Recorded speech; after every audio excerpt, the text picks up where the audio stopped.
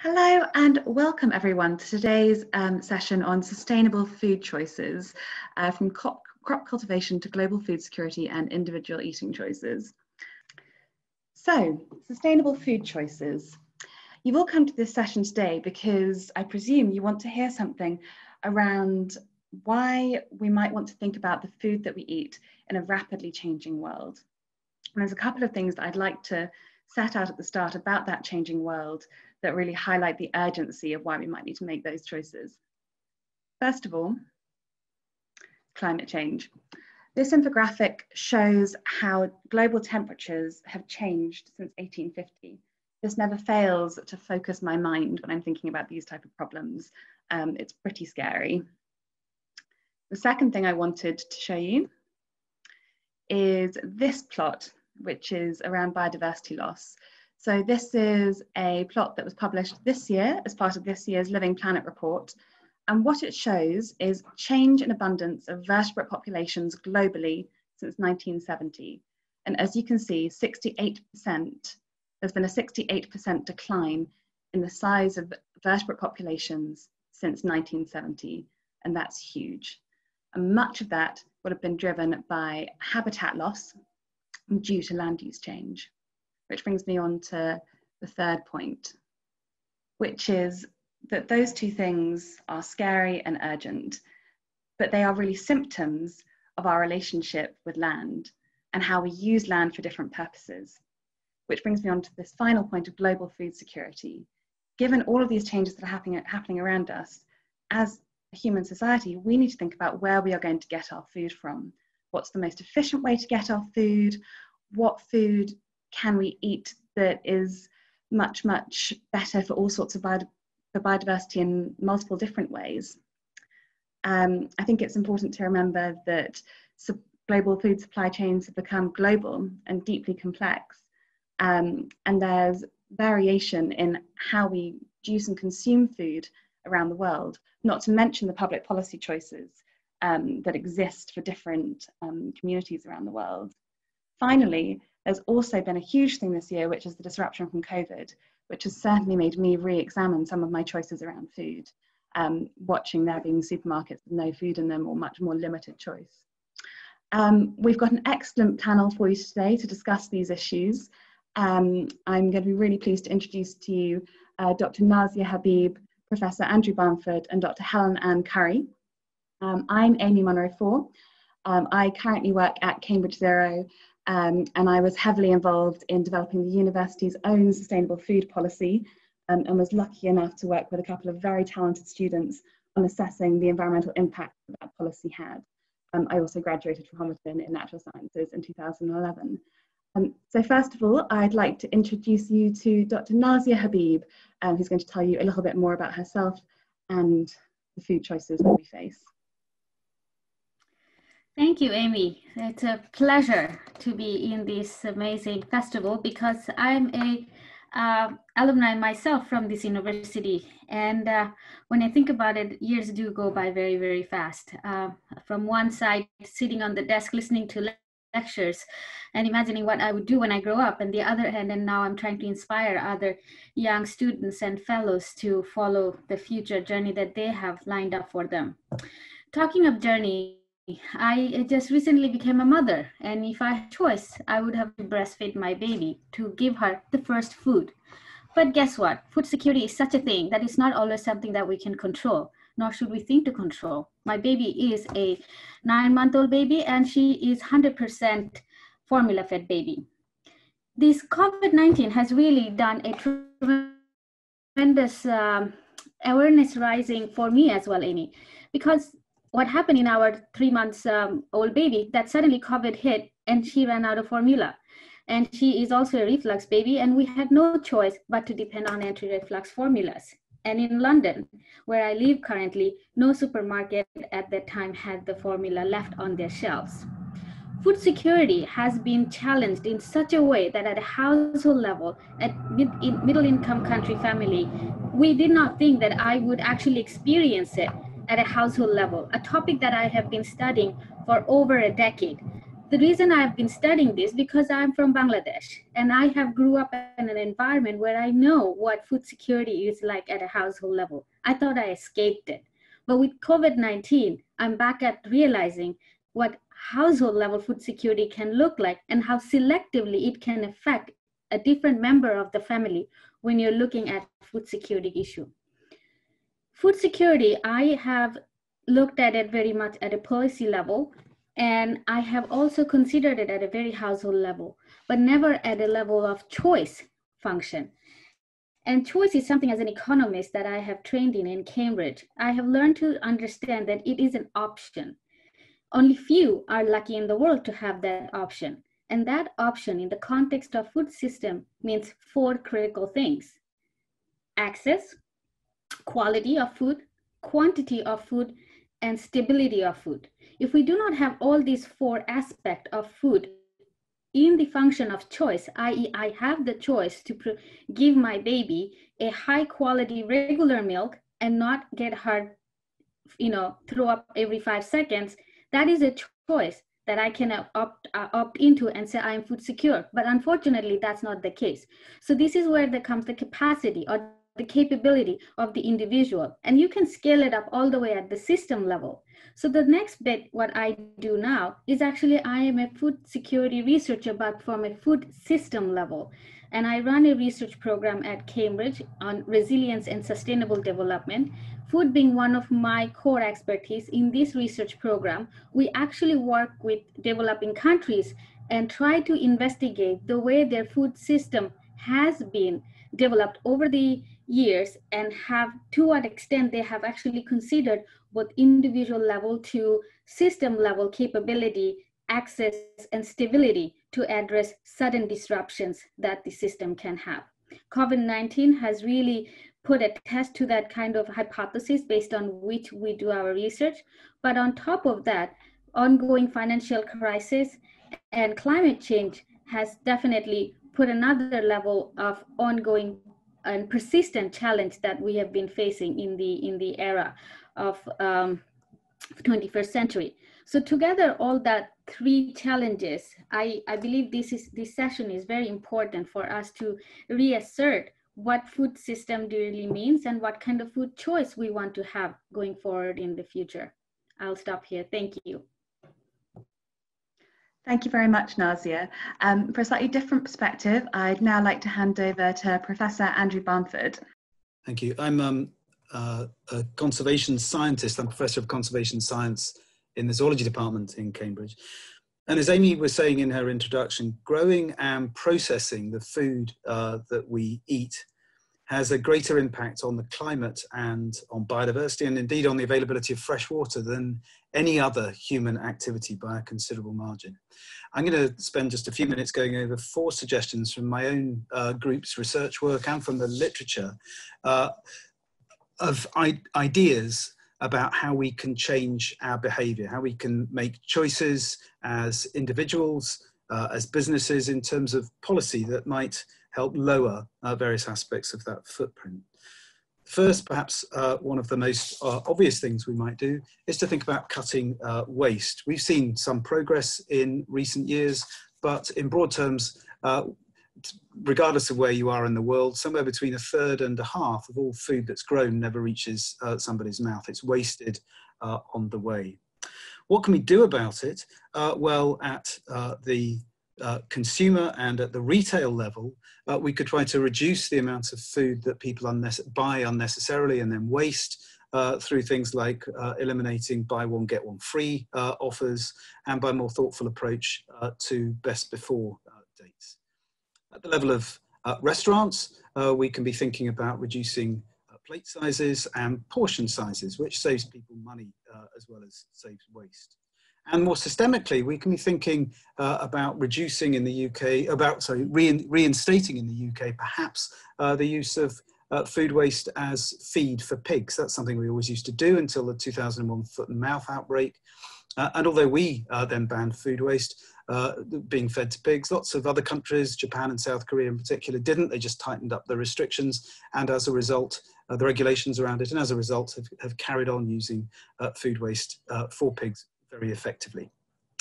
Uh, for my second idea, I want you to think um, just for a moment uh, about how many of you, whether you've ever eaten knowingly an endangered species.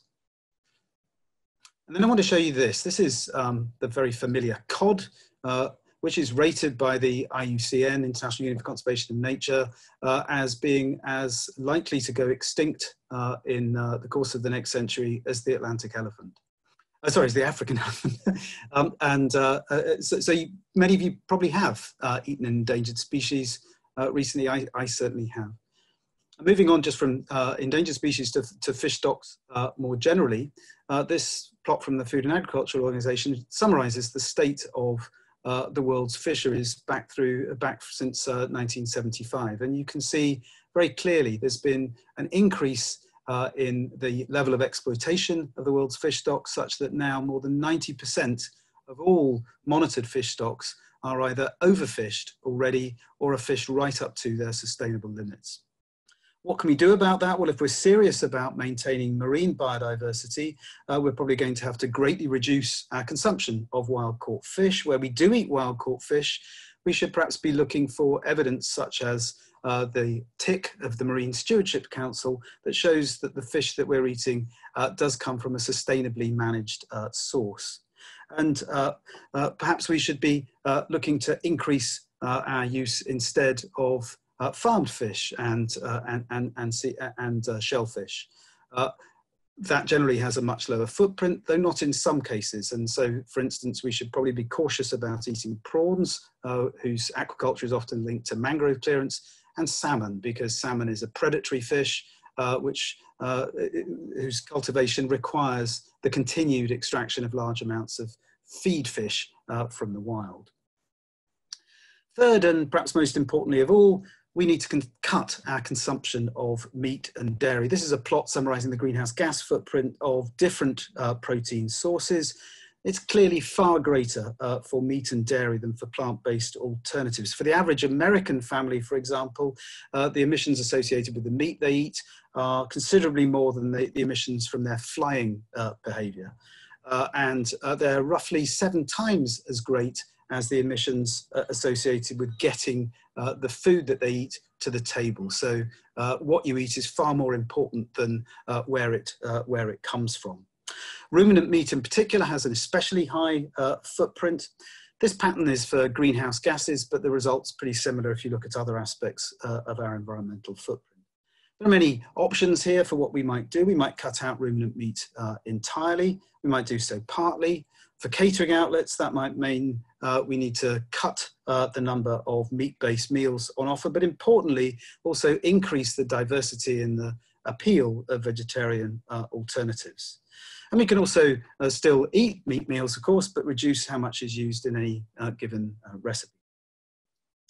Last, we perhaps need to think about how whatever food we do eat is produced, and in particular, what that means for how much land is used to grow uh, the, uh, the, what we need to eat because land is central to the impacts of food production on biodiversity. I'm just going to show you two uh, extremes uh, here uh, which look at farming at different levels of yield, that's production per unit area. So what we might do is share our farmed landscapes uh, with wildlife. if we do that, like the, the, problem is that that will reduce farm yield, so we'll need to farm a larger area in total to be able to meet food demand. The other extreme is what's called a land sparing approach, where we might seek to increase yields on uh, the land that we do farm, thereby meeting demand on a smaller total area and potentially freeing up land uh, to be retained or restored as uh, natural habitats. We've been working on this problem for uh, almost a decade now uh, on seven different, uh, in seven different countries, and the results we've we've, uh, we, we, have discovered have been remarkably consistent in that across all those places, uh, biodiversity and carbon uh, would be more prevalent across the landscape as a whole if we go down the right-hand uh, approach of high yield farming linked to setting aside areas uh, uh, of, of land for, for largely for nature. What does that mean in terms of our choices again? Well, uh, first, I think it means uh, that a, at a policy level, there's a premium on finding sustainable ways of increasing farm yields. That doesn't necessarily mean uh, intensive farming business as usual. We're not arguing uh, for that. And there are some very interesting programs in Cambridge underway uh, exploring ways of uh, increasing the yields of existing production systems in ways that are sustainable. And second, it means that as consumers, we might be a little cautious uh, when we see products being advertised as environmentally friendly, where that may mean that they've been produced at lower yields and so require more land uh, to be produced. They may not, uh, because of that, be as environmentally friendly as we first uh, think. The exciting news is that most of these ideas are being put into practice already uh, in Cambridge through the sustainable food policy that Amy mentioned uh, at the start of the afternoon. This was introduced by uh, the University Catering Service in 2016-2017, and it's been a remarkable and award-winning success for the university. So since its introduction, uh, the University Catering Service has cut its food waste by 6%. Uh, it's been making moves to reduce uh, its use of fish and in particular of fish from potentially non-sustainable uh, sources. And critically, it's removed ruminant meat from uh, the menus uh, in all the University Catering Service outlets. And as a result, over that time, seen a 33% decrease in uh, the emissions uh, of the food it serves per kilo, 28% uh, reduction in the land use that's associated with that. And all that's happened while there's been a 33% increase in the amount of food uh, that people are buying. Uh, so it's certainly, these changes haven't been uh, putting people uh, off, their, off, off their dinner. So to sum up um, what I wanted to say at the start here, the footprint of the food we eat is very considerable and it can seem daunting i think uh, working out how we address that. But there are choices we can make at multiple different levels including choices that each of us can make as individuals which can help us move towards meeting future food demand at least cost uh, to the rest of the planet. Uh, thank you Great, thank you, Andrew. Um, and for a final perspective, I'd like to ask Dr. Helen Ann Curry uh, to give us her perspective from the perspective of um, crops and studying the history of them. Thank you, Helen. Great, thank you very much, Amy. Um, I'm really pleased to be a part of this panel, and I think as you'll discover shortly, I bring a really different perspective. Uh, I'm a historian of science and technology. I focus especially on uh, recent uh, agricultural science, recent environmental science. And so the, the comments that I'm going to make really come from that historical perspective, uh, thinking about what it means to, to make individual choices about food uh, in relation to a, a longer history.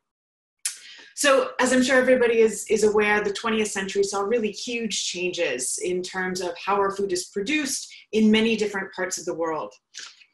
And since I've been specifically studying historical changes in the kinds of crops that we grow, I'm just going to focus on that uh, and, and say a little bit about how this relates to choices that we make with, re with respect to food and agriculture. So if we look at global data, we know that worldwide in the past 50 to 70 years or so, national diets on the whole around the world have tended to include a, a, greater diversity of crop species. So people have access to and consume more different uh, kinds of grain, fruits, and vegetables so you might think for example about your own family's diet over generations right? Do you have access to foods that your parents didn't even if you are in the same geographical place? Uh, thinking about my own life i can say that i know my parents didn't grow up eating quinoa. Uh, i certainly didn't grow up eating quinoa but my nieces and nephews in the us uh, they do right? And and i think we all have these kinds of examples of the the ways in which uh, the exchange of crop plants and the global development of agriculture and, and markets has really expanded the diversity of foods that we encounter regularly. Uh, and this is true mm, to, to different extents in, in, in most countries in the world, right? Uh, and so diets at a national level have diversified uh, along these axes. At the same time that, that the, the range of foods that the, the uh, average individual encounters have uh, increased in some ways, um, it is also the case that diets the world over in that same 50 to 70, 70 year period have become more the same, uh, more the same irrespective of where you are in the world.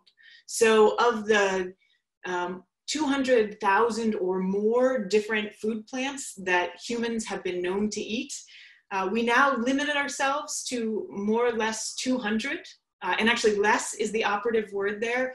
More than 50% of our global calories and protein come from just three crops, from, from maize, uh, wheat, and rice. Uh, and so although I mentioned this diversification at, at one level, at, at, the, the kind of national diet level, uh, what we really see globally is an increasing monotonization uh, uh, of diets. And if we dive down uh, to the species level uh, in terms of uh, those diets to look, or sorry, below the species level to look at, at crop varieties, we see a further monotonization at work.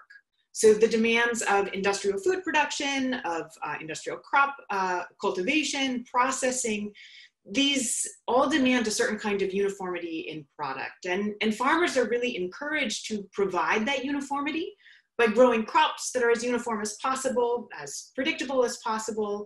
And this is really a feature um, that is created by closely controlling the genetic makeup of crops. If you're at all attuned to uh, weaknesses in the industrial food system, and I'm sure that, that many of you listening in are, uh, then you'll be familiar with stories that appear fairly often in the news about dwindling or disappearing crop diversity. Um, for example, about apple varieties uh, uh, uh, disappearing or um, old kinds of corn or rice or wheat. Um, farmers around the world, uh, as we learn from news stories, are planting more of the same variety of wheat or potato than they ever have before. Uh, you might uh, associate this with the proliferation of genetically uniform industrial monocrops and the concomitant uh, loss of all the diverse varieties of the past. So these stories are, they're contested by different people, but they're also very consistent. Um, and now thinking of a his, as, a, as a historian, I can say, looking back, they're also really consistent over time. Uh, people have actually been talking about and worrying about the loss of crop diversity since the 1890s uh, for uh, 130 years. Uh, and that is something that uh, the, the scale of concern about the loss of uh, crop diversity has really roughly mapped onto to two different trends. One of those is the increasing power of scientists, of plant breeders in particular, uh, and the second is the increasing power of, of, private seed companies. And so for the rest of the, the talk, I'm just going to talk about those two uh, shifts and then come around to what it has to do with the choices that we make. So first thinking about genetics and science, as the knowledge of genetics has made breeders uh, ever more capable in their transformation of crop plant characteristics, those breeders' products, which is to say new crop varieties, uh, have traveled further. Uh, breeders' varieties, displaced farmers' varieties, that is to say local varieties, in more and more different parts of the world. Now, at the start of the 20th century, most plant breeders were in fact state employees. They were public servants, uh, and they were linked to increasingly robust systems of public research. Although those breeders didn't always succeed in serving diverse national interests, they did generally recognize a responsibility for responding to diverse, diverse kinds of demands that farmers in their, um, uh, in their country would have. So different regions of a country might have different environmental contexts that require different, different crops. And this was actually one justification for the quite large scale of, of many national agricultural research systems. By comparison, in the early 20th century, most seed companies were small. They were mom and pop outfits that um, mostly actually just redistributed things that were made by government uh, breeders. Now, fast forward to the 21st century, to today. Uh, what do we see? Today, plant breeders have very, very powerful tools at their disposal, not just genetic engineering or, or genome editing, but genomic uh, analyses. They have access to, to very large storehouses of genetic diversity. However, they are often not today public servants. Uh, in Britain, Europe, the United States, and, and other parts of the world, uh, once robust systems of public agricultural research have actually been slowly dismantled. So here in the UK, one sign of that is that the immensely successful public uh, plant breeding institute was sold off to, to private industry in 1987 and, and has never been uh, restored. By comparison, private seed companies have become vastly more powerful. So today, just four companies control about 60% of the global seed market. And although it may benefit those companies to some extent to respond to diverse constituents, their central concern for good reason is the bottom line. Uh, and that bottom line is, is typically served best by keeping the product line to, to uh, the minimum necessary.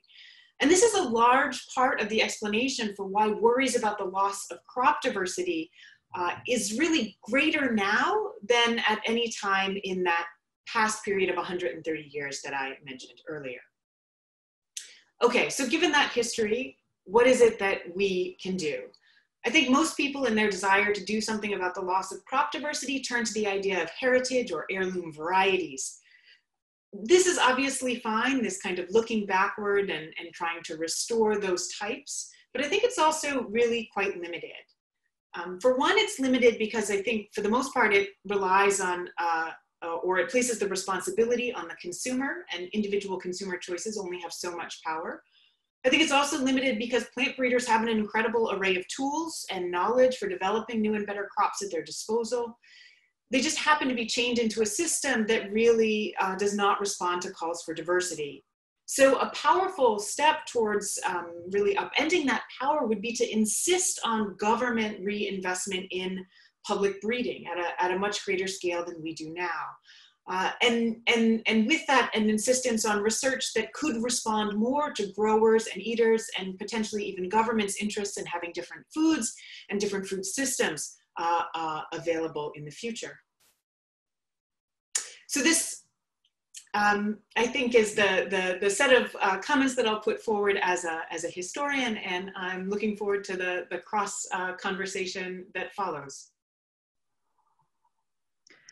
Thank you all for those very different takes on what it means to make sustainable food choices and the different things that we need to think about um, in this world. Um, so we've got a few questions now that I'd like to address to all of you. Um, so the first one is starting to think about choices. The theme of this whole session is around choice. So what for you are the major choices people are going to need to make about food in the current environment. And this could be at an individual level, um, or the kinds of choices that producers or restaurateurs might have to make, or even at a policy, policy making level. And Andrew, could I ask you to kick us off on this one? Um, thanks, Amy. Um, so I think I, I went over ones to, that I think are the most important with, um, from the point of view of addressing the environmental footprint of food. That's not the same as uh, the food security uh, issues that Nazia was was talking about. And I, I think there are there are four of those. I mean, there are others, but there are four big ones for me. There are ones around cutting waste, um, uh, around making smart seafood choices, um, uh, around um, reducing uh, ruminant and dairy uh, intake. and all of those, I think, are things that we need to be thinking about as individuals I think retail has a huge part, uh, the choices that it makes, the decisions it makes will have a huge part to play in supporting that. And of course, um, policy is also uh, very important. In that context, it's, it's, it's interesting to note that the um, uh, Citizens Climate Change Assembly, which is just reporting its first set of interventions, um, it, reporting back from a diverse mix of, of society about what it thinks we need to do to meet uh, our Paris commitments, um, put right up there we need to cut our meat consumption by 20 to 40%. Uh, that's something which uh, a government is not going to be uh, very keen to, to, to, let, it's not be brave enough to legislate on, to push policy in the direction of. Yet clearly it's what people know they need to do.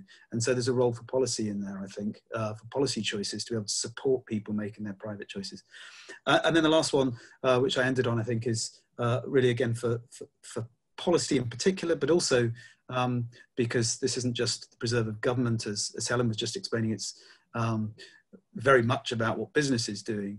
Uh, we need to be uh, uh, uh, identifying and then backing uh, sustainable routes to enhancing the yields of what we uh, of what we're growing as our food. If we're going to make any space on the rest of the planet for uh, the millions of other species that live here and the uh, uh, and to store the, the carbon that we know needs to be uh, drawn down out of the atmosphere.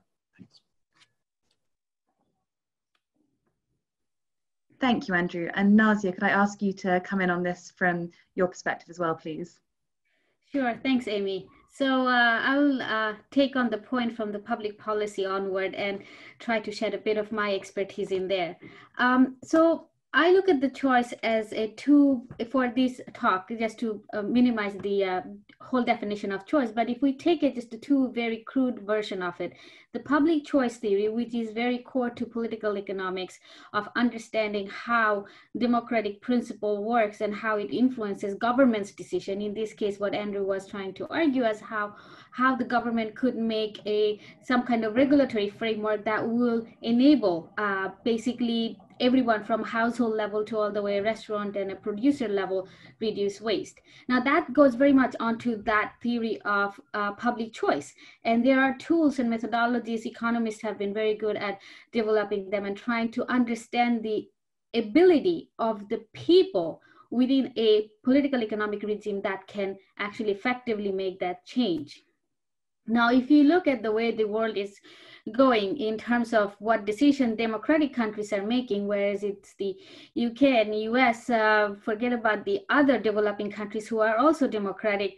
I, I question myself the extent to this narrative stands against the uh, theories that have been suggesting that democratic version of policymaking often takes a, uh, take account of the uh, popular ideas. Now, of course, there are also theories and um, academicians who have been looking at and saying that not all uh, public choice theory-based policies are actually looking at the interest of the people as some.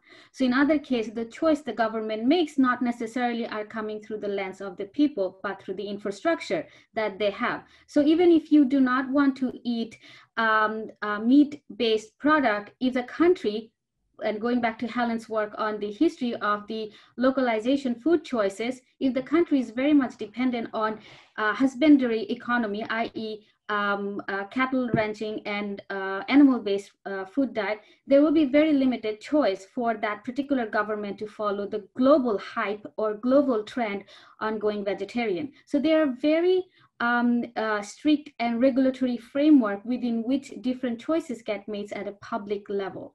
The next one is a crude definition of a choice theory. It's just to look at the individual level or household level choice that one can make. In this case, I bring back my own personal story of not having a choice to feed my baby breast milk over formula. On top of it, within the formula, she only could have one particular type. And that is a choice is what we call capability approach. There is a capability of in among each of us as to what extent we can make a certain choice, no matter how much we want to have a different version of it. So when we're looking at food policy, it goes across from a very individualized version of who we are to all the way where we live. And that dictates the amount of flexibility we have in the spectrum of change. And spectrum of change is something very important for us to understand at this point where we are when we have compounding challenges that is constraining the choice function. Um, and this is where I come with the uh, re research work that we recently done uh, for Bangladesh government, where we really looked at some of the choices the country has to secure employment for the uh, lower income population. And that is very much core to giving them the ability to just even secure basic food that they would need as the as the economy is transforming into um, uh, catching up to industry 4.0 which is supposed to at least have a great advantage for the production at least this is the pre COVID-19 scenario um, but then it has a massive backlash into uh, employment opportunity that it will actually create for the uh, uh, uh, the working force. So just to bring it down to a conclusion, I think it's a very interesting question, but I think the question demands a very nuanced understanding of the choice function within which we are trying to come up with the solution um, for different aspects of, uh, of the uh, society. Thank you for that, Nazia. Um, really, really interesting to hear you both coming at this from two quite different perspectives and how you both arrive at um, actually what it means for an individual to make these choices as well as that and the context within which they exist. View it for one of you within a policy context and the other perhaps in an environmental context is very fascinating. Um, so moving on, I've got a secondary question we'd like to ask which is how can we better understand the relationship between what we plant and what we eat? Um, and Helen, could I ask you to come in and speak, speak to this? Yeah, absolutely. Thank you, Amy. I think, you know, thinking historically about this relationship between what we plant and what we eat, um, you know, uh, uh, looking backwards in time, we would say that that um, for, for most of human history, those would have been quite closely related, right? Um, uh, even the fact that we can uh, say, you know, what is the relationship between these things suggests the distance uh, that has happened in the food system between eaters and, and growers, right? Uh, and it's really only at the at the extremes of privilege uh, in terms of uh, those who are either uh, growing their own food um, um, in a subsistence context or possibly those who are able to buy into local farm production in somewhere like the UK, um, where people have a direct kind of input into the, the, the, the relationship between what goes into the ground and what they wish um, uh, kind of immediately to, to put into their bodies. And so um, one of the things for me, I, I mean, listening to, uh, to, to, Andrew's comments, for example, I think it's important to think about the ways in which our individual choices maybe push us all collectively towards a position where more people have a choice about um, whether the things that are going into the ground are the things they, they want to be consuming later. Um, but we're going to need also um, kind of transparency and public policy, I think, to push us more towards a middle ground where where what we what we plant and what we eat are actually um, not seen as sort of separate separate um, decisions, right? Um, um or or I should say that that eaters kind of have more of a choice um, um, with respect to what what agricultural systems produce. Thank you, Helen. And can I ask Nazia to come in and comment on this as well, please? Sure, Amy, thanks. Uh, again, I will bring in uh, my uh, emerging country and public policy perspective to this. So bring, uh, building on what Helen said as to, again, government trying to inspire us what we need to eat. So as I mentioned already, there is only so much um, um, regulatory framework can actually provide as a guidance as to what needs to what we plant and what we eat because a lot of it is very dependent on the political history of what we have been eating for example what helen has already mentioned and the newest version is actually what is valuable. And this is an important part of food um, uh, value system because you may be one of the country, one of the resident in Senegal, and Senegal's one of the ma massive uh, uh, uh, benefit uh, into the international market that they're groundnut producers, and that is a high value. Now you cannot live on eating groundnuts all the time. So in this case, a country would still promote groundnut production, but may not necessarily have enough um, instrument in its pocket to actually uh, give similar kind of support to smallholders. And that's the kind of story we see in developing countries, that there is a very strong agriculture policy, strong agriculture ministry. But if you dig deeper into the skin of those uh, policies and ministries, you will start to see that they, these are very bifurcated policy. It often tend to promote the plantation of crop that will have higher export value. In those kind of scenarios, you end up in, in a in an imbalanced food budget where the import then goes up because the population needs to sustain its uh, uh, daily nutritional requirement. And of course, we know the story of how food insecurity does sit into a country when you have a high dependency on uh, export-based agricultural system and have a very weak uh, uh, national food agriculture system. And, and to bring this point to home, in uh, recently this year, about 160 countries have stopped schools because of COVID-19. World Bank released a report saying that 85% of the uh, children under five who used to depend on the school meal have been actually going into massive food insecurity, i.e. the household could not provide them with enough food, nutritional food to meet their daily requirements. And this is the kind of uh, scenario where the country, regardless what they plant, they cannot ever plant enough of the balanced diet and the enough nutritional basket. So they will have to depend on some alternative version of food um, in, in uh, integration into the system.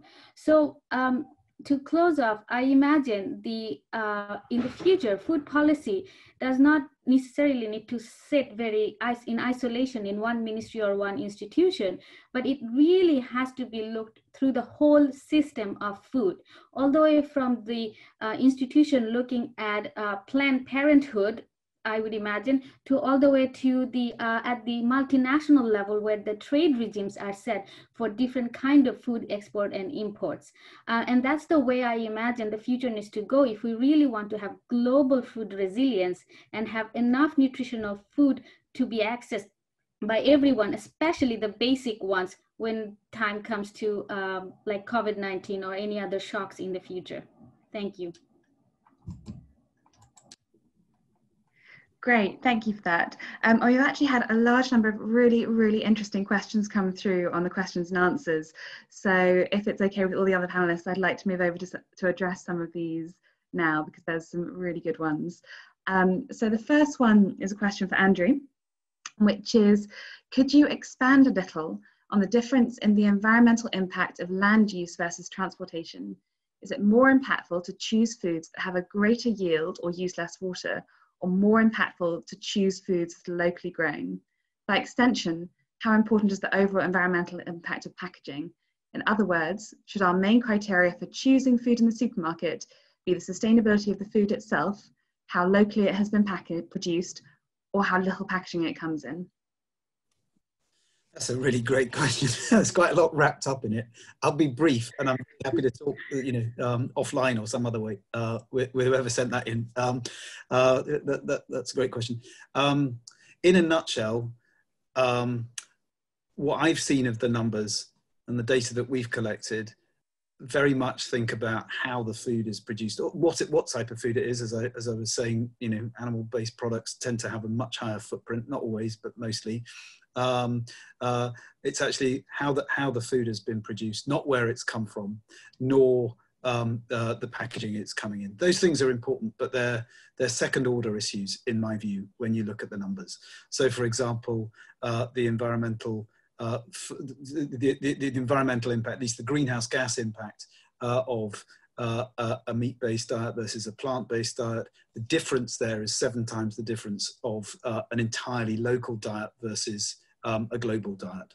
Uh, so reducing food miles uh, in that sense may be good for all sorts of other reasons, do supporting your local economy, uh, but uh, the environmental impact of that is, is really quite tiny compared with substantially cutting your uh, meat consumption.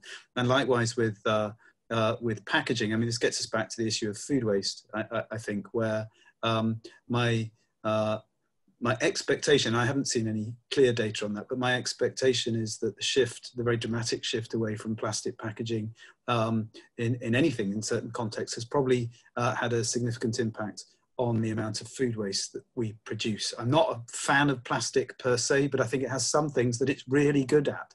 And one of them is, is, is uh, increasing the shelf life uh, and reducing waste of food uh, in transport. And that's one of the, for me, one of the most likely things that we should carry on using what oil we've got left uh, for. Rather than putting up into the atmosphere, let's use it and keep recycling it as uh, ways of limiting, uh, as, as a fantastic set of um, uh, inventions for, for reducing food waste. So just go back to the question, uh, I'm most concerned about how my food is produced, what it is and how it's produced uh, the footprint that it has on the land and the, the externalities, the pollution and so forth that it induces in its production, and le much less uh, about how it comes to me, where it's come from, uh, and how it's packaged. Brilliant. Thank you, Andrew. Um, we've got another great question here as well, um, which is, can you comment a little bit on the tension between ethical and environmentally conscious food choices and socioeconomic pressures that might reduce the ability of certain groups to make those choices. Is making those choices in some ways a privilege reserved to more economically advantaged populations? And this is addressed to everyone, but I'd like Nazia to come in on it first, if you're happy with that. Sure, uh, very, very interesting question. Um, food is a very um, politicized commodity as much as it is a basic requirement for us to be alive, simply put. When it comes to politicizing anything, it becomes a preferential benefit for a particular group of people over the other and if you and i am not a food historian and i'm not going to pretend to i know the whole history of how food has emerged but if we as much as my research has gone looking into the historical setting of the food choices between a certain group of population that is mainly i looked at the south asian countries uh, narrative and if you look at what they say is um, let's take uh, is edible by a widow when they become widowed in, in Indian culture, there are certain food they cannot consume. And this is a very interesting question when you ask about ethics, because when I was researching from the rights perspective of a woman to food, a widowed woman has just the same amount of nutritional requirement as a woman who was not widowed. But because widowed are seen as a second class citizen, suddenly, as soon as their husband passed away, their food requirement from having any um, meat into their uh, meat or fish or uh, protein into their consumption goes down to nearly zero. Now, this is a kind of a story that we um, have studied uh, looking at the literatures from the 1990s. I did not believe that that was continuing to happen, but when I did my field work, it was to my surprise, that was quite a prevalent characteristic. And that characteristic was very much down to the lower middle class families and that was a very interesting isolation of fact to see in one hand there is a bigger narrative that those kind of you know segregation of food consumption right is no longer in practice. But when you go down to the social strata within which food gets defined and divided you start to see a different reality. So the ethics is then a very important question because ethics is something that we can also pull all the way to the end to say which is a crime and which is not a crime. And this is a kind of a an social construct of ethics also gives instrument to the lens of public choice theory as i mentioned earlier who can take this to the point that i say it is the right of a woman regardless of her, their marital status to have the same quantity of food. And if the food is not provided to them or allowed to um, be accessed by them, it can be a criminal offense. This is a kind of similar question that goes into where food waste or um, food uh, reduction, any of those ethical choice that we make to extend to say I am better than the other is also very much goes down to the axiom of what I can do given what position within the political economic strata I am in and the, the other part is that to what extent there is a regulatory framework that will uphold my right. And ethics is in between that is, is very much of a def, definition of the privilege sometimes, but not always. And that's why we are always fighting to have a different version of the reality. Thanks. Thank you, Nazia. And I'd like to ask Helen's comment on this as well, and perhaps address some of the historical comments through time. Yeah, just very briefly, I want to um, follow up a bit on, on, on what Nazia has just been saying, um, getting back to the piece of the question that was about that was about privilege and about individual choice and, and what role does that play um, in thinking about a just food system. And I think that's why in my comments I suggested that, yeah, there are, there are things that we can do as individuals that we should be doing if we have the ability to do, um, but we should also be making demands on uh, the institutions that are ostensibly supposed to be um, um, helping make, uh, you know, those opportunities available to all. So for example, our, our national governments. And so there really is a role um, that goes far beyond individual choices in terms of uh, demanding a, a political system that does better, basically. Great, thank you, Helen. Um, we actually have a next question, which is also for you, which is that um, many seed companies in the USA have focused on including heirloom varieties available for us to purchase for our home gardens, and many farm stands now sell heirloom varieties of tomatoes and so on. Supermarkets often include heirloom variety crops on their produce shelves. Of course, they are often more expensive than the other varieties sold. I actually thought there was a trend to expand crop diversity this way to meet increasing demand for diversity. Could you please comment on this? Is that all right? Sorry, I, I actually had a little bit of trouble hearing. If you could just give me the, the, the last, the question bit again. The question bit was, could you comment on the expansion of heirloom varieties that are available to customers and consumers in supermarkets? The, the question, I think, was can expand crop diversity um, to meet increasing consumer demand for it. Comment on that, please. Okay, I think the, uh, the question, if I've got it, is about um, the, the availability of and the interest in heirloom varieties um, and, and what maybe the kind of politics and environmental um, aspects of that uh, may be. Yeah, I, I think um, I, I feel torn a bit here. I grow um, a lot of heritage varieties myself um, in my garden, and um, uh, uh, there's certainly a strong pull towards exploring the tastes and flavors of the past, which seem to produce a kind of contrast for us to what's often offered in uh, supermarket shelves and and and um, uh, even in uh, uh, most restaurants. Um, and so that is definitely all to the good. I think there's a danger of looking to the past with respect to food crops and not necessarily looking um, forward to what breeders could be producing with the tools they have in hand. And so Andrew has made it very clear um, the environmental impact of, um, uh, you know, expansive agriculture. We need crops that produce as much as they can uh, produce. And so really the ideal is finding a way to incorporate some of the qualities we've been missing out on in our industrial crop plants um, but bringing those forward into the future into varieties that are also productive, right? Because we can't risk losing productivity because that has environmental consequences as well. So, you know, it's about, it's about trying to find the balance really. Great, thanks for that, Helen. I have another one for Andrew, which is about the environmental impact of ruminants. Um, so the environmental impact of ruminants is highly variable and dependent on production methods uh, and the questioner would be interested to hear if that could be a route to achieve significant improvements.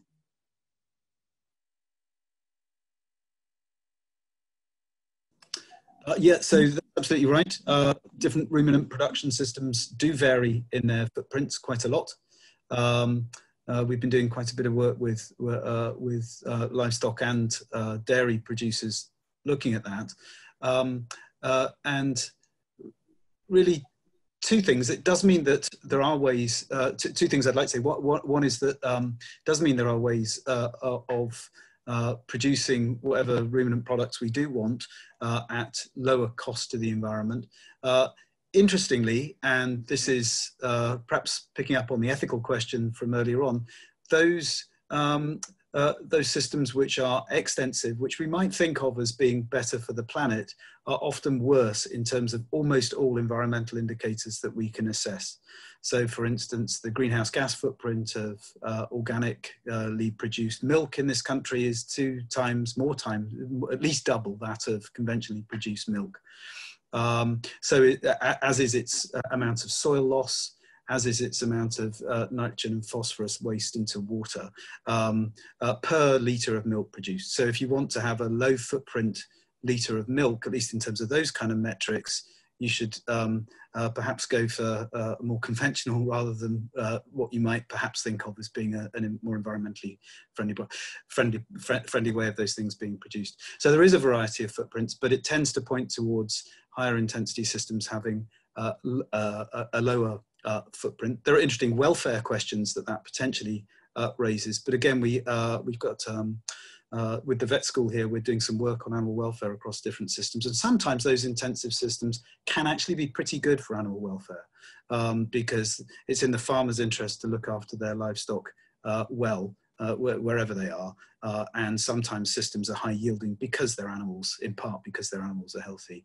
Uh, the other thing to bear in mind though is that even though there is tremendous variation within production efficiencies, nevertheless, even the most efficient ones are substantially more costly to the planet in terms of greenhouse gas emissions, land use, water use than are almost all uh, plant-based alternatives. That's not saying that uh, we should not eat meat at all. I eat meat. Um, I eat ruminant meat or ruminant products once in a while, uh, but we just uh, need to think very seriously about whether we need to eat anywhere near as much as we're currently eating. Good question, though. Very important question. Thank you, Andrew. Now, there are two questions I would like to squeeze in before the end. We've got three minutes, so I'm going to ask for some very swift answers. I hope that's okay. This one for Nazia, considering the significance of food to culture, I'd be curious to hear more about concepts of food sovereignty and food justice in relation to discussions on food security, choice, and consolidation and collapsing of seed diversity, including for indigenous food systems. That's a really big question and a very good question. um, I actually had a couple years ago a student who did a, um, a master's uh, thesis on this topic. Um, so I will try to just summarize uh, what we found and, and something that might be more relevant to what we're discussing. And um, so food sovereignty is uh, very much on the concept of looking at how independent you are in terms of the food requirement that you have which I was uh, alluding to the fact when I was talking about the export import imbalance that countries often get into when they're focusing on very much on a high yield crop, uh, sorry, high value crop versus um, crops that are going to be more uh, nutritious and available for the rest of the population.